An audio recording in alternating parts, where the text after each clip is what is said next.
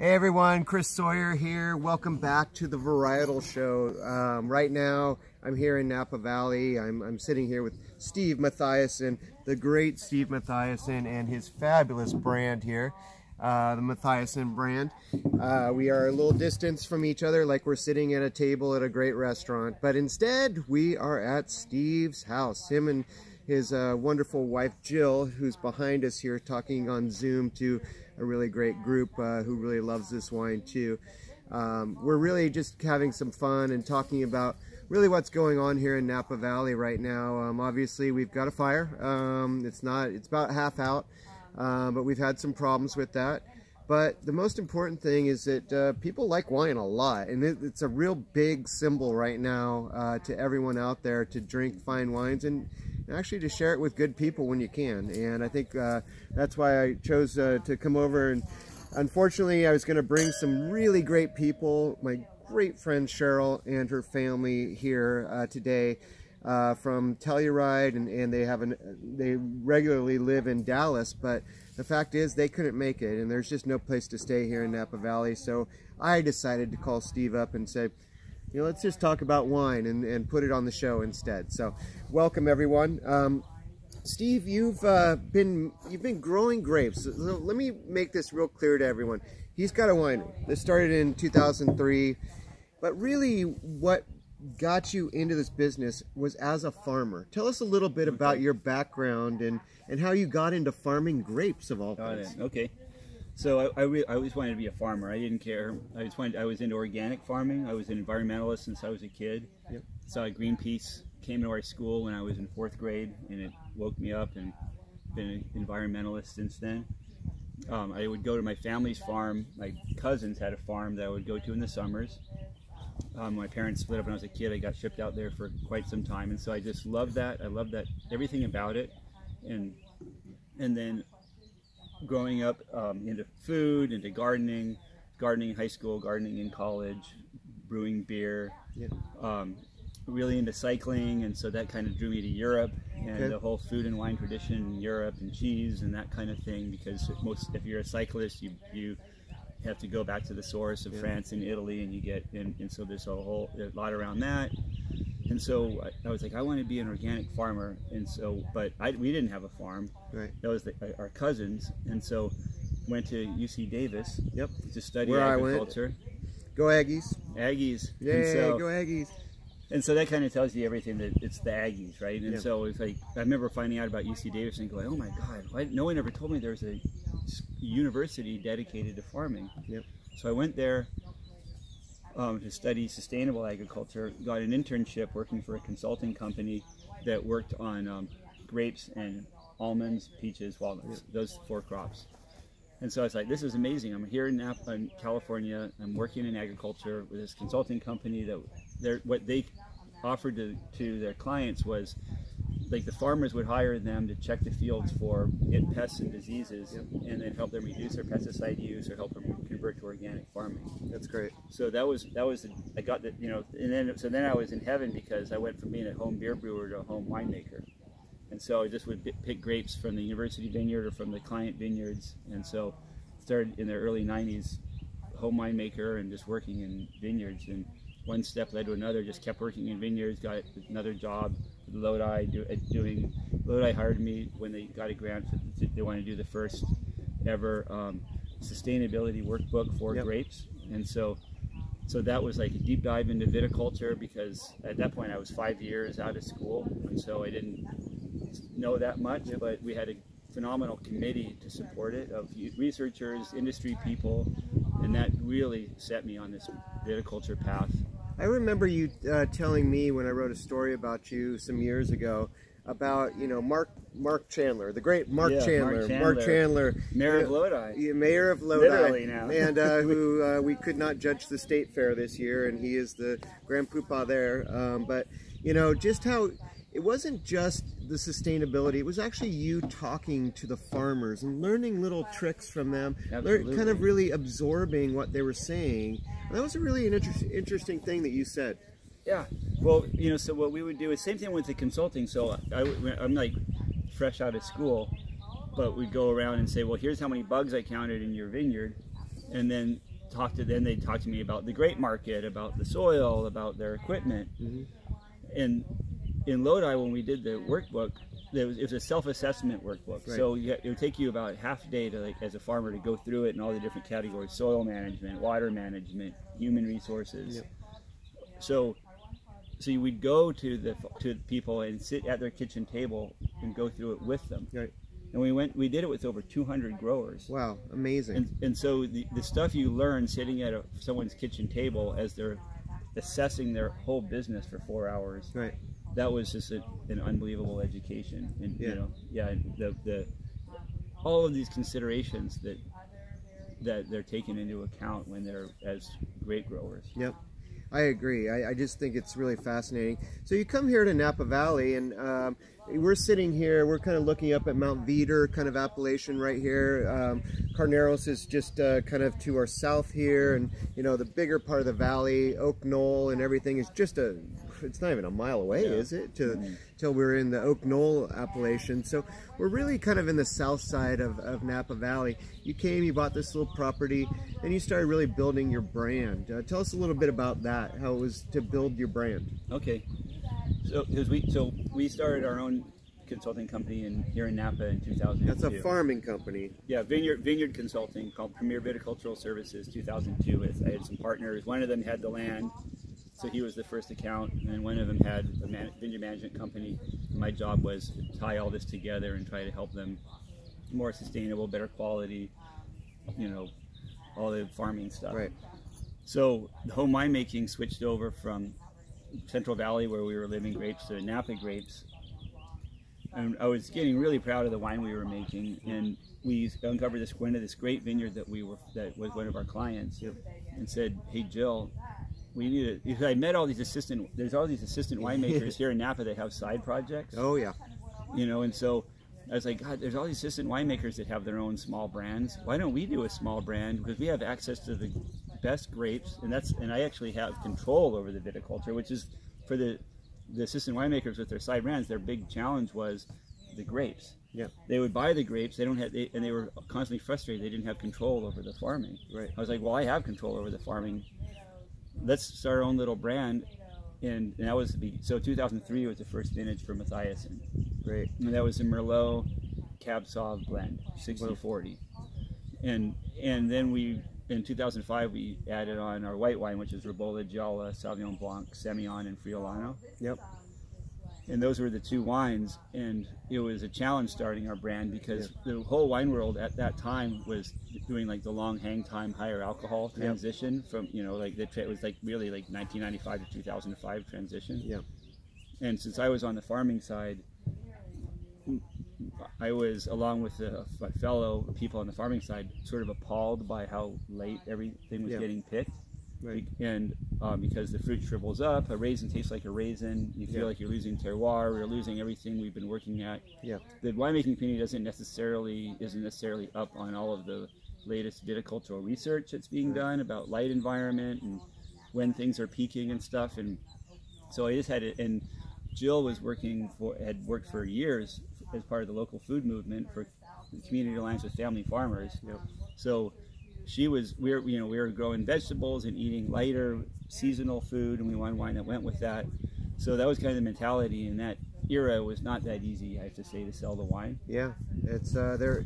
You know, I don't think even a lot of the somms were, were up to date yet. Um, they they were buying big things and, and everything. You know, a lot, lot of French style food, butter based sauces. I mean, you know, I think that really a lot of this trend and how you were you didn't really budge, but then the food trend kind of came back to you Yeah, you know, where farmers markets became big again, and all these things about freshness and, and why freshness is, is so important. Mm-hmm. When we were just talking, when we sat down, we were talking about obviously the glass fire that's that's been going on for a while here, and I said, How, how'd you do? And, and first thing he said is, we, we picked it already. So the fact is that you don't have to let these grapes grow forever out there. And, and in fact the balance is having natural acidity in there. And that's if you let it go too far it gets sweeter and the acidity drops off and then you have to add acidity.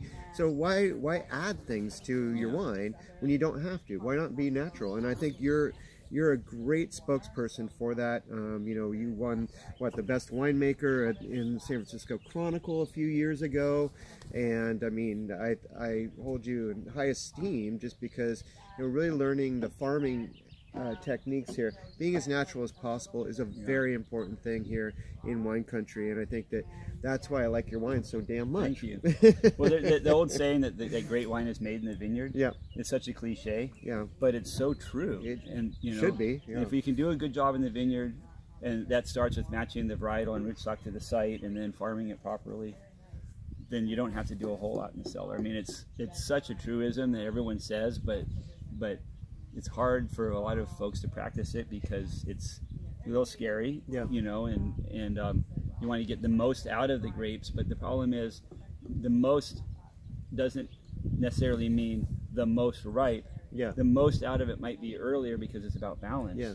And balance is a really hard concept as an as an American to get your head around because as American we're always like bigger is better. Yeah. And so, for balance to be better, well, that's tricky. Yeah. What? How do you define it? Where is it? Yeah. And you know, but that's what I'm. I'm chasing that idea of balance, and then, and the if you can find that point, hopefully viticulture there's a point, and it's not like multiple curves and it's muddied. It's like surfing. Is it all wind chopped or is it one wave? If you, if with viticulture you're trying to get it to be one wave, so that you can find that apex and pick up on that date Yep. and you don't know when that is. We picked Cabernet this year in August. Wow. I've never picked Cabernet in August before, but we had a really dry spring, and that's when I thought that it was that was the, that point. And I think this has been a pretty consistent. It seemed like every week, all since uh, COVID nineteen started, it was pretty much every week was 70s going to 80s, going to 90s, 70s going to 80s, going to 90s. It was pretty consistent there. I mean, and who else has ever had so much time to monitor the temperatures, you guys, except for all of us because of COVID? Yeah, exactly. You know, we know everything about what's happening in our yards today. Um, speaking of Uh, which, air quality, air quality, now. yeah, Yeah. Um, speaking of which, we've got a very interesting grape variety here, the Ribolla Gialla. Tell us a little bit about this. This is one So- baby um, kind of varietal that you really helped teach me a lot about this. So tell us a little bit about this Okay. Italian varietal. So R- Ribolla Gialla, it's the name. It translates to yellow refermenter. So I guess it's yellow colored grape, and, and it had a tendency, I guess, back in the day to pick back up the next summer. I have no idea where it got that name, but I, I love how some of these these names, these European grapevine names, when if you translate them, they literally they describe what the actual grape is. Yep. So it's an oldie. It is. This is an oldie. You know, it was on menus written in, like in like in the 1200s, like for coronations of kings and stuff in Venice. So it's been in northern Italy for a long, long time. Um, it's if we it's a, uh, it's not a fruity wine. No. So it's it's savory and mineral, nutty, and traditionally it's fermented like other white grapes were traditionally fermented with the skins and stems like a red grape, right? Yeah.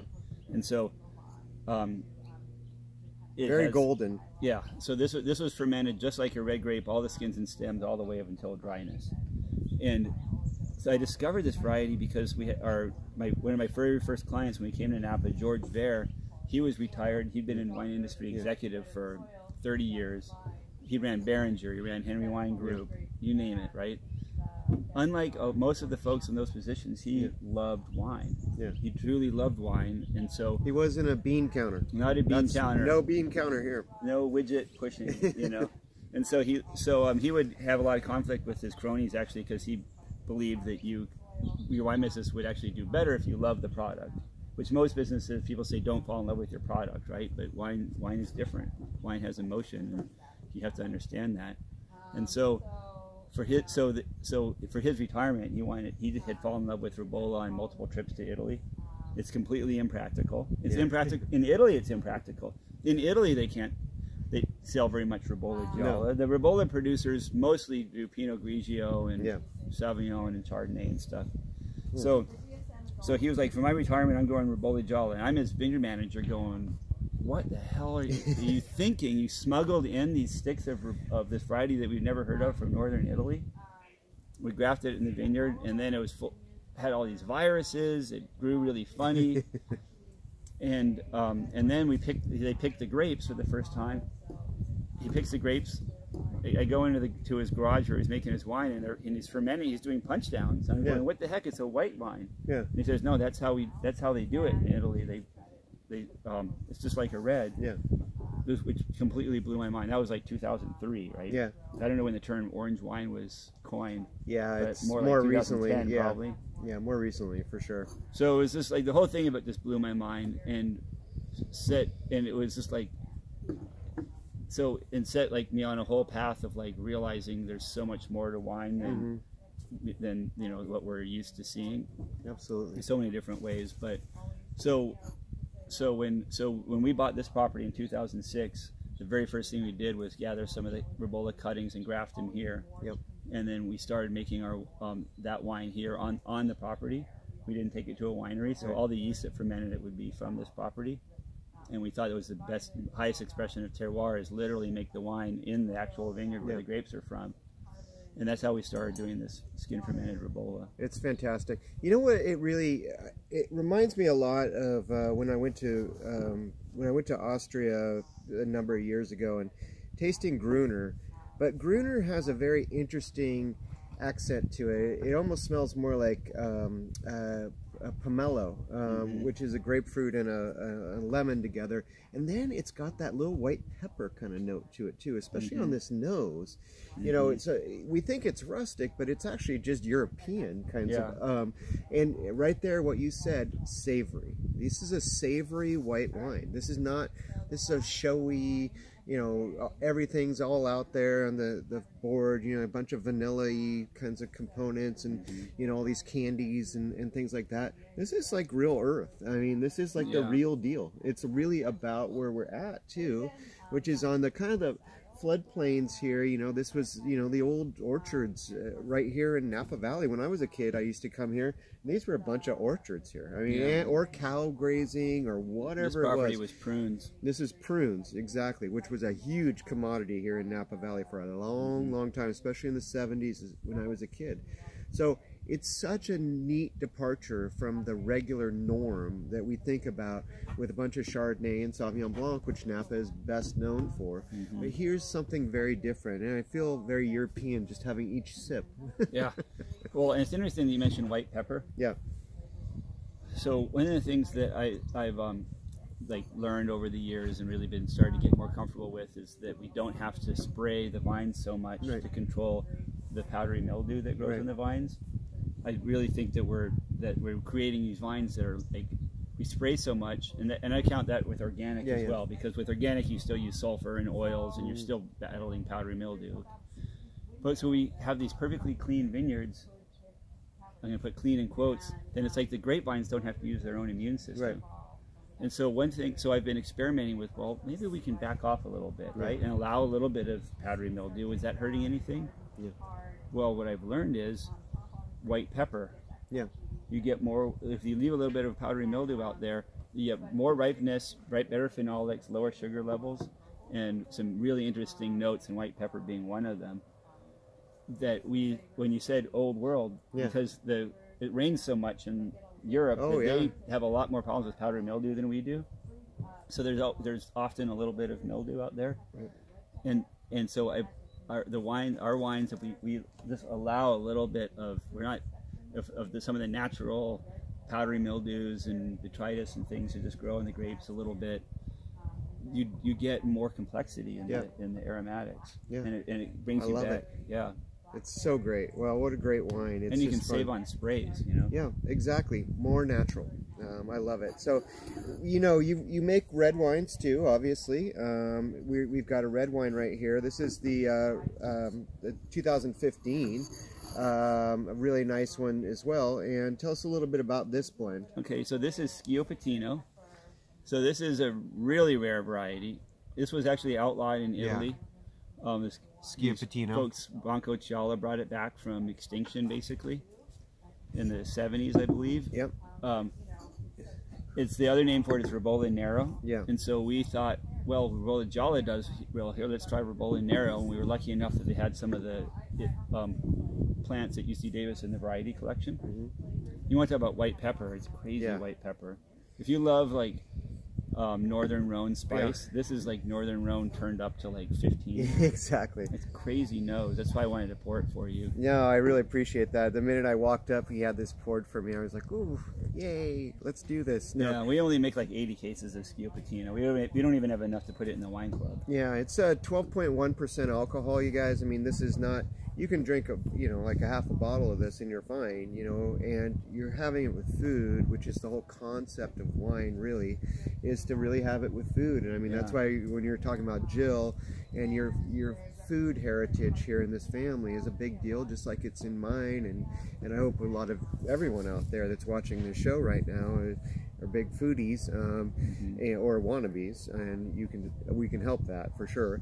But you know, the fact is, you go to Europe, you eat food with. Uh, there's always wine and food together. You, Yeah. It's just you just don't do it by itself. You know, that's not the whole idea there. Yeah, exactly. And they were they were alive before us. A lot of those people. Yeah, it's called Europe, you guys.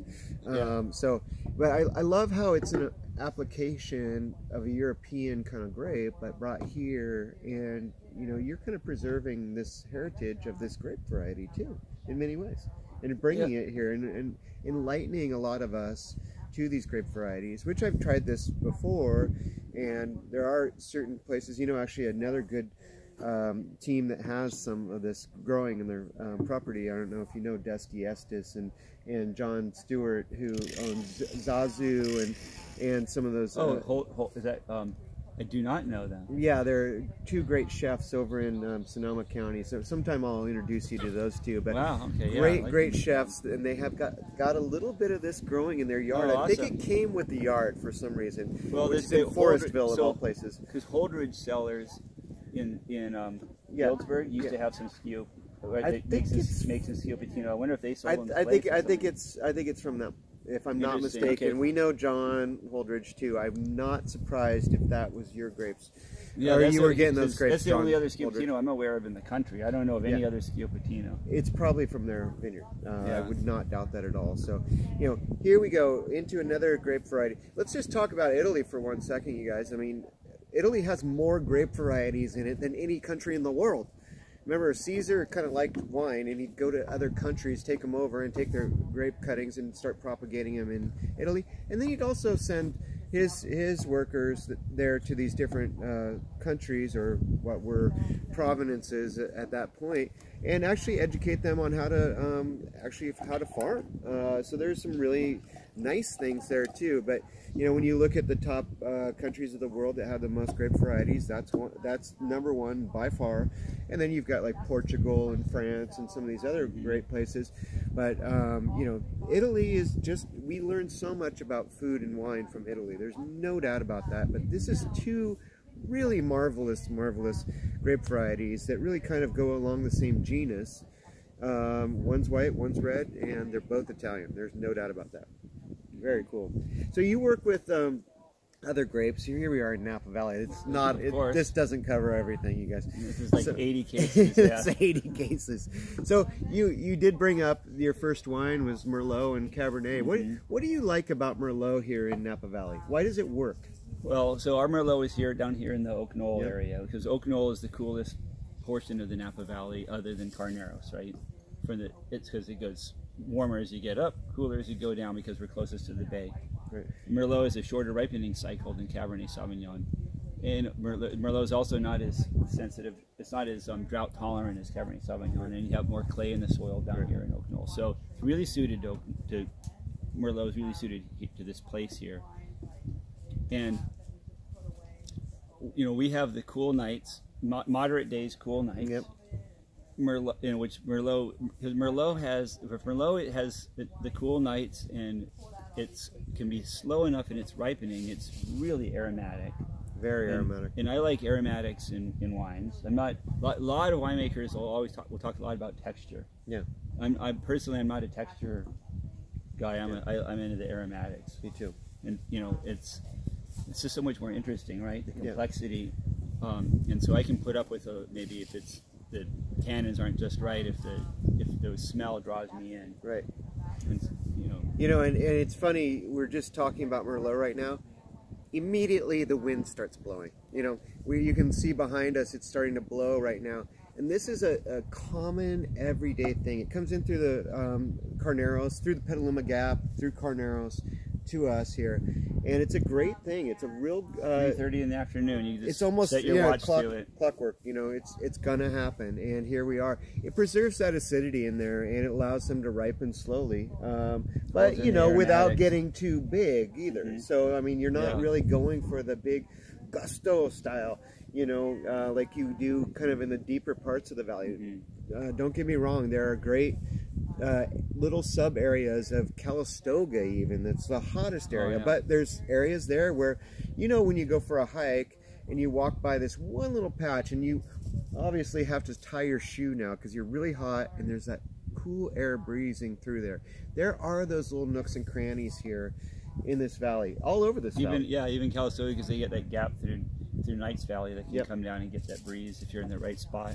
Yeah. And then the soils. I mean, Three Palms is what, what you know. It's one of the most legendary uh, Yeah. Merlot vineyards in the world, um, Yeah. and it was number one in the Wine Spectator and, and Duckhorns Merlot. I mean, Merlot for a lot of you guys out there that saw Sideways, ooh, like it's not out of style. It was always in style. The problem is that there are a lot of people that used it as a commodity instead of a real grape, and that's where it went bad. And if you really watch the movie Sideways too, don't forget that the the end scene is actually him drinking Cheval Blanc, which has Merlot in it. Yeah. Um, so it was kind of a kind of an interesting thing, but I would argue right now that the best Merlots we've ever had in America are being grown right now and made right now. Well, you know, because since after Sideways, weirdly probably did Merlot a bit of a favor Yeah. because it was so overplanted and all these spots that aren't suited to it. And I, and I I don't think it's an exaggeration in Napa, at least, to say that the number of Merlot acres after Sideways reduced by probably eighty percent. Yeah.